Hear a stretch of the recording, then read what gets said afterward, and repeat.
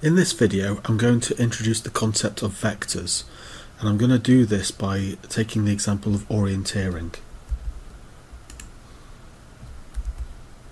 So for the first example I'm going to take a basic route where you walk 5 miles east and then 6 miles north and then 5 miles west. And the question is how far are you from the start, which is your displacement, and how far have you walked in total, which is your distance uh, moved from the start point. So to answer this question I'm going to start with a diagram and so I've got a starting point and then I'm going to draw an arrow 5 miles east so this line is in proportion to the distance travelled and also there's an arrow to show the direction. Then I go 6 miles north and then 5 miles west. So I can see that I've ended up 6 miles north from where I started so that's my displacement and my total distance walked is 16 miles. So if it took me 4 hours to complete that route, what's the average speed and what's the average velocity? Well, speed is distance over time, so we've gone 16 miles total distance divided by 4 hours, so we've gone 4 miles per hour. That's our average speed. Now velocity is displacement over time and our total displacement is only 6 miles. So from the start point to the finish point we're only 6 miles away. So the average velocity is 1.5 miles per hour. Now let's consider another route. Uh, this route requires you to walk 5 miles change direction walk 6 miles then change direction and then walk another 5 miles.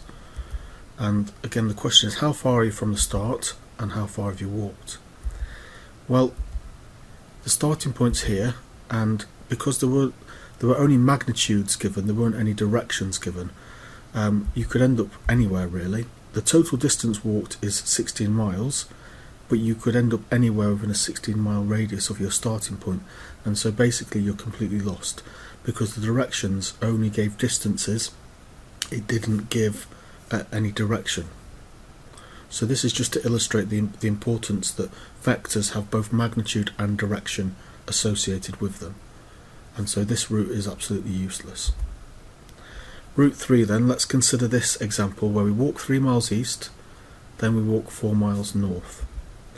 And again the question is how far are you from the start?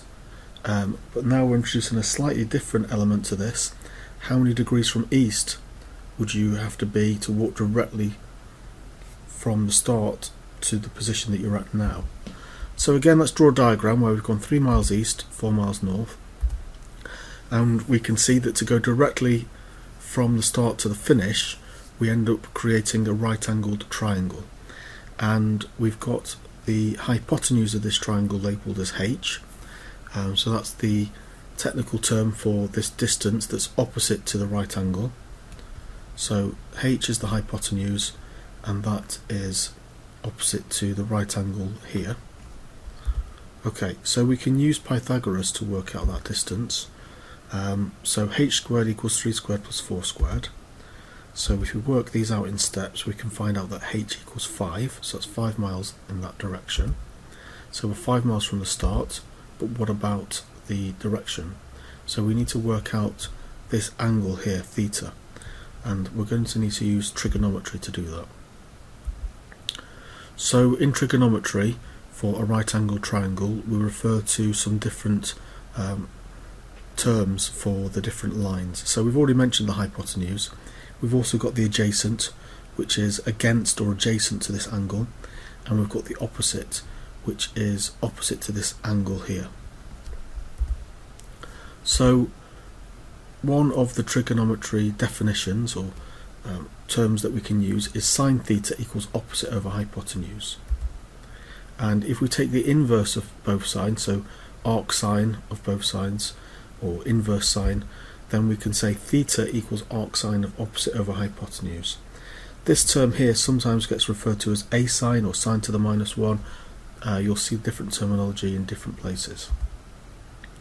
So now if we put some numbers into this, we can say arc sine 4 divided by 5 will give us the angle and it's 53.13 degrees to two decimal places. Let's put this into the calculator. Often on a scientific calculator you'll need to press the shift button and then the sine button and just above that is the sine to the minus 1. You then have to of course do 4 divided by 5 and press equals and that should give you your answer. Now here's another route. This is one for you to try. So if you want to pause the video and give that a go, feel free to do that. Route 5 is a slightly different uh, example where we're giving a, a, distance to walk in a northeasterly direction but we need to be exactly 4 degrees, 40 degrees from east to do this. So when I refer to northeasterly here, it's just approximately in that direction. Uh, the exact direction is 40 degrees from east. And again, the question is how far north are you from the start? Uh, and how far east are you from the start? So these are slightly different questions to we've had that we've had previously. And in this example, again, we need to draw a diagram and we've got the angle this time given as 40 degrees and the distance is 8 miles. So using trigonometry we can go back to sine theta. If we multiply both sides by h we get h times sine theta equals opposite. So if we put the numbers in we can see that we're 5.14 miles north and now we need to think about east. So we could use Pythagoras because we know that h squared equals a squared plus o squared and if we rearrange that by subtracting o squared from both sides we can get a squared. Putting in the numbers gives us 6.13 miles east.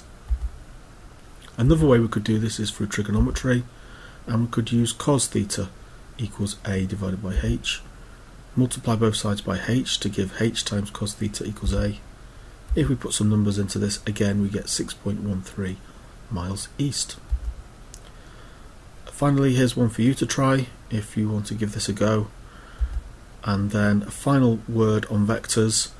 Vectors have both magnitude and direction. So in maths, we talk about scalars, and these are just numbers with a magnitude. So things like length, area, volume, speed, etc. Vectors have both magnitude and direction, so displacement, uh, velocity, acceleration, etc.